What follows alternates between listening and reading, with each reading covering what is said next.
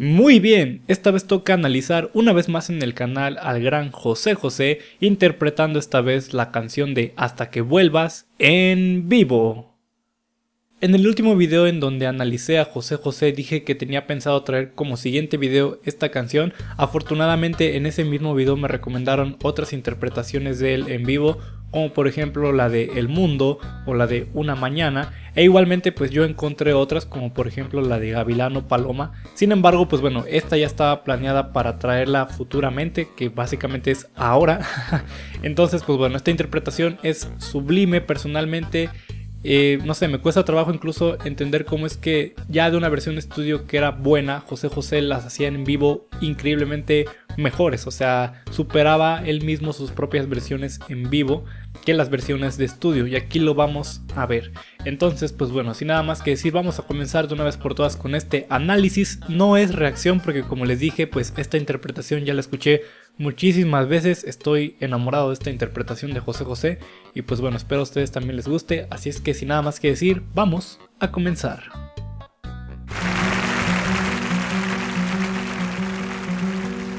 Andaré tu risa que dejó tibio mi lecho.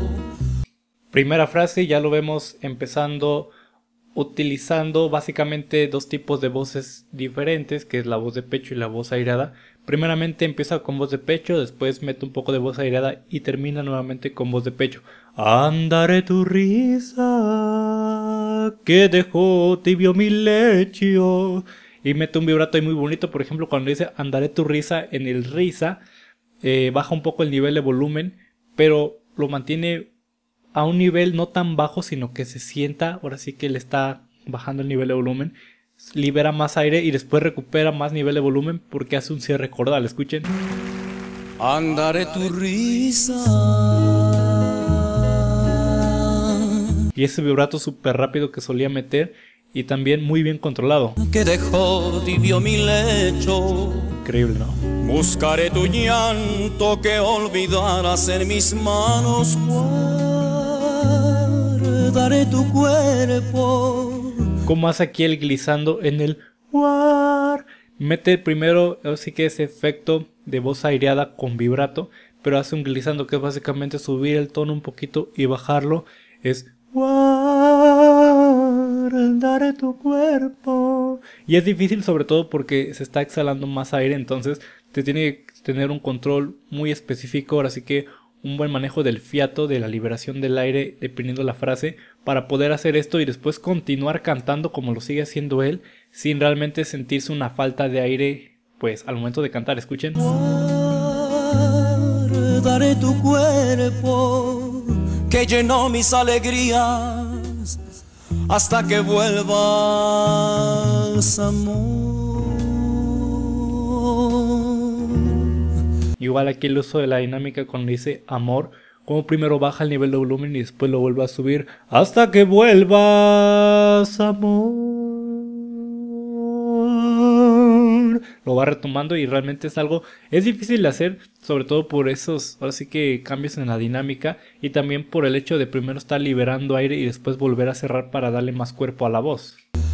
Andar el camino que corrieras a mi lado, buscar el silencio que perdieras en la noche, guardaré la espera que pintaron mis poemas. Algo que tengo que resaltarles es que, por ejemplo, él a pesar de, por ejemplo, utilizar tonos graves, realmente no mantiene la voz aquí. Muchas veces uno piensa que por cantar tonos graves, eso aquí no. Y no, él lo sigue manteniendo en lo que es básicamente una resonancia alta. Solamente que al ser tonos graves no se siente tanto esa, digamos, como cuando uno canta agudo, que se siente mucha así, mucho apoyo en esta parte.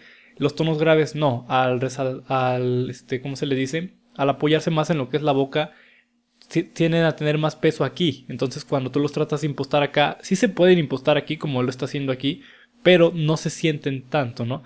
Pero sí lo está haciendo así porque en algunas partes se siente como esa, ese apoyo. Es, es un sonido muy especial el que se genera. Por ejemplo, ahorita que yo estoy hablando, suelo apoyar en algunas vocales aquí arriba. pero por ejemplo es como de pero hacerlo en grave, es complicado, ¿no? Entonces ya mantenerlo aquí es complicado y por eso mismo les digo que hace como un contraste en lo que es la, el apoyo de aquí y el manejo de acá es, es muy difícil de mantenerlo, pero José José lo está haciendo pues totalmente bien. Hasta que vuelvas, amor.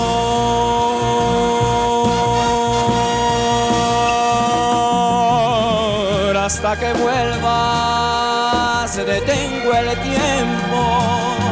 Aquí, por ejemplo, cuando dice el segundo, hasta que vuelvas, lo que hace él es colocar la voz en lo que es la nariz. Ya pues estamos hablando de un José José que a pesar de que estaba en su apogeo vocal, donde demostraba increíbles interpretaciones con su voz, eh, ya se le notaba que en algunas notas se le dificultaba el colocar la voz en lo que es un agudo de pecho, ¿no? En vez de hacer hasta que vuelvas, detengo el tiempo. Lo que él hacía era como de hasta que vuelvas, detengo el tiempo. ¿Por qué? Porque cuando uno imposta en la nariz, le quita todavía más peso del que ya se tiene. Por ejemplo, cuando uno coloca la voz en lo que son los senos frontales, que es básicamente una resonancia alta, se le quita mucho peso a la voz y tú cantas con mucha libertad. Pero ya el hecho de colocarlo ahora en lo que es la nariz, o sea, es totalmente un apoyo aquí arriba y aquí no sientes nada. Entonces eso te ayuda mucho para hacer notas altas o un tanto altas con potencia y que no se te canse la voz o que no caiga el peso aquí. En este caso, pues José José lo hace y a pesar de que es una voz nasal, si escuchan, no es realmente un sonido feo. Muchas veces los cantantes solemos evitar la voz nasal porque es un sonido, pues no, es, es muy gangoso, por así decirlo. Entonces, por eso mismo se busca desarrollar una técnica para poder subir esos tonos utilizando los resonadores frontales y no apoyar en la nariz como tal. Pero aquí José José lo que hace sí es impostar en la nariz, pero afortunadamente al tener él un timbre de voz bonito, incluso hasta en voz nasal, pues no se siente una voz fea. Escuchen. Que vuelvas, detengo el tiempo, que. Aquí en ese que na impostan lo que es la nariz, no lo hace como de que na, no lo hace que na, o sea, coloca aquí arriba, entonces es muy diferente, ¿no? El sonido, sobre todo, por ejemplo, en mí yo siento que se nota bastante. En José José no se notaba tanto porque ya él estaba teniendo una resonancia alta, lo único que hacía era apoyar más en la nariz y después quitar ese apoyo de la nariz. Entonces, por eso es que él se apoyaba mucho de esto, ¿no? Nadie pise tu recuerdo. El vibrato súper rápido y por ejemplo aquí cuando dice que na hace otra vez otro glissando bajando con ese vibrato súper rápido. hasta que vuelvas junto a mis ojos, hilando sueños, te esperaré hasta que vuelvas, detengo el tiempo que nadie pise tu recuerdo hasta que vuelvas junto a mis ojos. Si se dan cuenta, por ejemplo, también hace el uso de los flips. Por ejemplo, aquí cuando dice junto a mis ojos, mete un pequeño flip para darle más sentimiento. Y otra cosa es que tiene muy buena dicción y eso es complicado sobre todo cuando se mantienen frases en el tiempo, como pues era el estilo característico de José José. O sea, todas las vocales se colocan bien, incluso la U, que no la resalta tanto cuando dice lo hace un poco más hundida, pero aún así no se pierde como tal la vocal. Escuchen aquí como mete un flip Junto a mis ojos. junto a mis ojos. Ese junto a mis ojos es un flip y se utiliza muchísimo pues, para darle como más sentimiento a la canción, ¿no? hilando sueños. Escuchen toda esta frase. Vamos a ver cuánto tiempo se hace. Realmente nunca he tomado el tiempo de esta frase, así es que vamos a ver cuánto tiempo hace esta nota, mejor dicho, en el tiempo. A ver, vamos a contar. Te esperaré.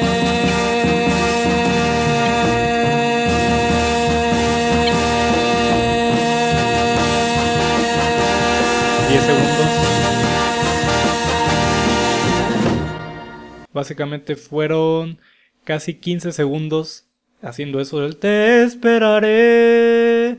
Y realmente pues si se dan cuenta, a pesar de que es la frase en el tiempo, en ningún momento baja el nivel de volumen denotando esa falta de aire, todo el tiempo la mantiene digamos plana, lineal, el mismo nivel de volumen. E igualmente no se apoya del todo como del micrófono, o sea, de irlo acercando, sino que lo sigue manteniendo a una misma distancia.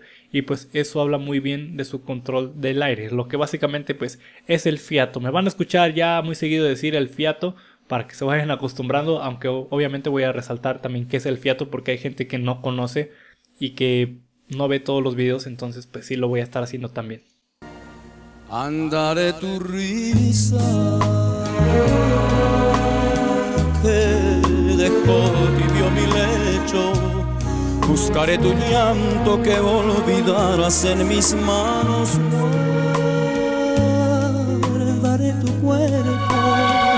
Que el feeling que le mete es impresionante, cómo te transmite tanto. Y algo muy cool de él que me gustaba es que, por ejemplo, pasaba de una voz de pecho bien cerrada a esa voz aireada, un poquito redondeada muy de golpe, o sea, era un cambio muy drástico, pero a la vez era muy bonito porque quedaba muy bien, ¿no?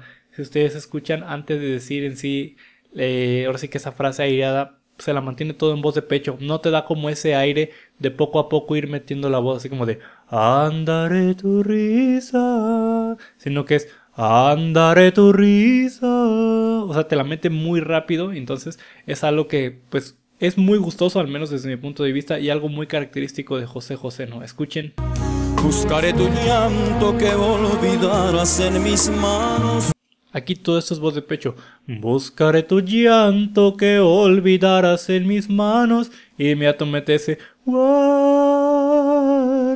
tu cuerpo. Escuchen.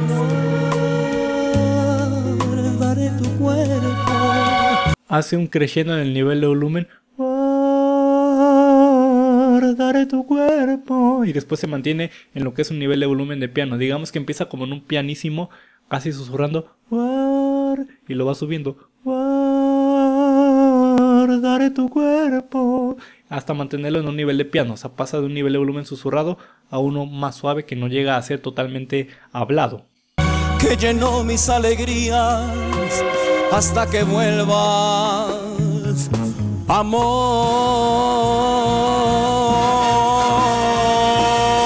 Aquí tengo que resaltar algo y yo como fan de José José lo reconozco muy bien y espero ustedes también pues lo tomen por donde es. Cuando él hace esta variación del amor, si escuchan parece como que cuando hace el oh, ese cambio, como que se escucha una voz como ronquita, ¿no? Esto se debe a la fatiga vocal y se lo dice alguien que la ha vivido, que ha tenido esa experiencia el estar cantando y a veces hacer ya sea de un tono agudo a un grave, suele salir esa voz como de oh, como rota, ¿no? Entonces aquí se le escucha a José José cuando hace amor. ¿Por qué? Porque él ya traía tal vez un cansancio vocal. No sabemos cuántas canciones ya había cantado antes que esta porque ni siquiera se sabe en qué programa fue, o al menos yo no sé. Eh, entonces, pues probablemente él ya tenía una fatiga vocal. Hacer estos cambios, como les digo, de oh, de pasar de grave a agudo y viceversa, pues sí hace como una desconfiguración. Y cuando ya tienes la voz cansada, suelen salir esos efectos en la voz como que, ah, ah, como vocal fry, pero no es vocal fry, es como que realmente la voz está un poco ya cansada. Escuchen de nueva cuenta, traten de detectar ese efecto como de ah, ah, ah, cada vez que hace oh, a ver si lo detectan básicamente. Pero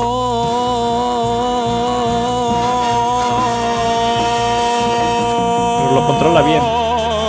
Hasta que vuelvas, detengo el tiempo que nada. Voz nasal otra vez. Nadie pise tu recuerdo hasta que vuelvas junto a mis ojos, sueños. Algo que se ve impresionante y lo voy a regresar 10 segunditos para que vean cómo es que él a pesar de que hace las frases muy largas, en donde utiliza ya un nivel de volumen fuerte, en donde está metiendo muchos recursos como lo que es la dinámica, el vibrato, no se le ve cuando él respira como que haga así como de como que tome mucho aire, o sea, él toma lo justo e inclusive ni siquiera se ve así como un cambio en su cuerpo, o sea, parece incluso que no está cantando, como que está haciendo un playback porque no se le ve como una apertura, digámoslo así, cuando él toma aire, o sea, su control del aire era tan bueno en ese entonces que no necesitaba él ahogarse en aire para poder seguir cantando frases súper largas. ¿Por qué? Pues porque esto viene acompañado de lo que es el control del fiato, como ya lo mencioné anteriormente y muchas veces.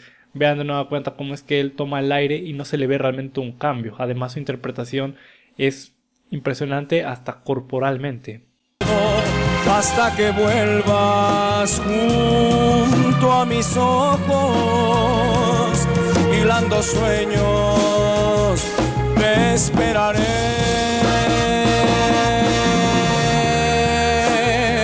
Hasta que vuelvas, detengo el tiempo que nadie, nadie pise tu recuerdo por ejemplo, aquí lo que hace es interpretar otra vez la canción, darle más de su feeling, porque este que nadie, nadie, o sea, repetir dos veces el nadie, no estaba realmente en la versión de estudio, en la versión de estudio solamente era que nadie pise tu recuerdo, y aquí lo que él hace es volver a decir ese nadie, y realmente como que le da más peso, ¿no? Eso que nadie, o sea, literalmente nadie, nadie, ¿no? Te lo estoy resaltando, que nadie va a pisar tu recuerdo. Escuchen. Que vuelvas, detengo el tiempo, que nadie,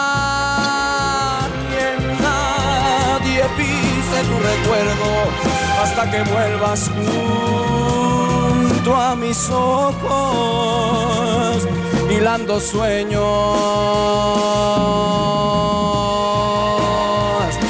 A ver, ahora aquí quiero ver cuánto tiempo se hace. Me imagino que van a ser más o menos los 15 segundos que se hizo anteriormente, pero pues probablemente sean más o probablemente sean menos. Vamos a ver. Te esperaré.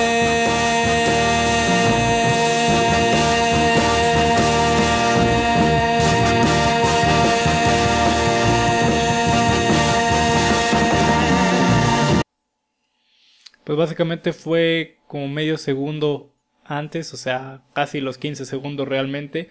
Y si se dan cuenta aquí lo que él hace es apoyarse de lo que es el micrófono para acercarlo y no tener que él sacar tantísima voz. Eso como les digo es aunado a que él ya estaba teniendo tal vez sus problemas vocales que ya se le estaban haciendo un poquito notorios al oído de un espectador pues inexperto o novato. Es como que wow, una interpretación 10 de 10. Y sí, o sea, realmente es una gran interpretación, pero ya por ejemplo en el caso como yo que sé cuando suelen haber problemas vocales porque yo también he sentido esa sensación, pues sí es como de que, ah, mira, aquí ya la voz le estaba fallando. No era notorio, porque la interpretación realmente no es como que, ah, mira, se le cortó la voz o le salió un gallito, o como otras veces, ¿no? Que estaba cantando y se le cerraba la voz y luego luego se escuchaba, ¿no? El, ahora sí que el problema que traía.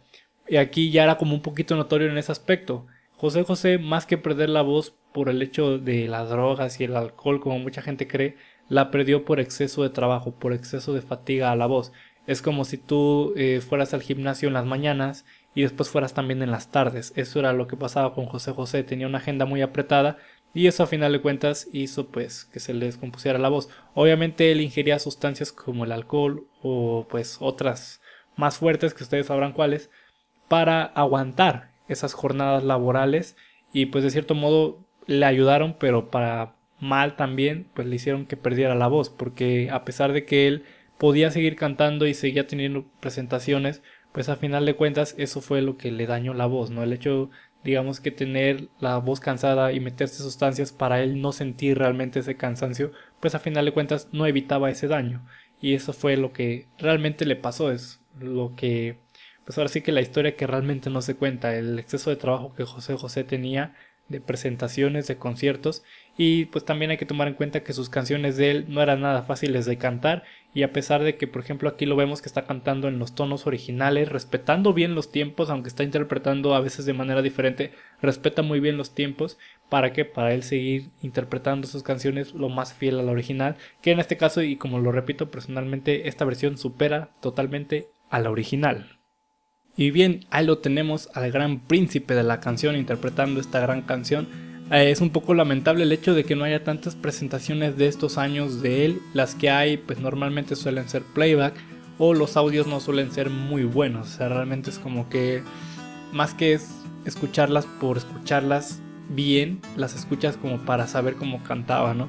Eh, pero pues bueno, es como que hay muchas cosas de él que no han salido totalmente a la luz muchas presentaciones que tuvo en programas de televisión que no han sido realmente mostradas al público, que deberían de hacerlo porque pues bueno, es José José, no es cualquier cantante y creo que se merece ese respeto. Espero les haya gustado el análisis, igualmente como les dije al principio, pues ya me recomendaron otras canciones que voy a traer a futuro. Probablemente en algún momento llegue a hacer una encuesta, lo más seguro es que sí, de esas canciones que me recomendaron, así es que por eso mismo pues les pido que se suscriban al canal, ya que muchas personas que ven mis videos no están suscritas a mi canal, de hecho más del 80% de las personas que ven mis videos no están suscritas a mi canal, entonces pues bueno, se los pido para que estén más que nada atentos a este tipo de videos y a las encuestas que hago, porque a veces pido recomendaciones y pues yo obviamente yo voy a tomar las que me comenten, no las que me llegan a comentar en un video personas que no están suscritas a mi canal, no porque no quiera, sino porque pues para eso hago esas publicaciones para tomarlas en cuenta y traer el video. De los videos también las tomo en cuenta, pero yo personalmente las tomo más en cuenta de las publicaciones. Así es que bueno, gracias por haber visto el video, yo soy Porcayo y nos vemos en la siguiente ocasión. ¡Chao!